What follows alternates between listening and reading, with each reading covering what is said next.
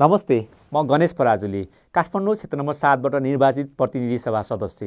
निर्वाचित जनप्रतिनिधि जनताप्रति जवाबदेही हुनुपर्छ भन्ने मूल मान्यतालाई आत्मसात गर्दै हामीले संयुक्त रूपमा काठमाडौँ छ र सातका दुवै सांसदले सार्वजनिक सुनवाई कार्यक्रम तय गरेका छौँ। उक्त कार्यक्रममा विकास निर्माण तथा सार्वजनिक सेवा प्रवाह गर्ने सरकारवाला निकायहरूको पनि उपस्थिति रहनेछ।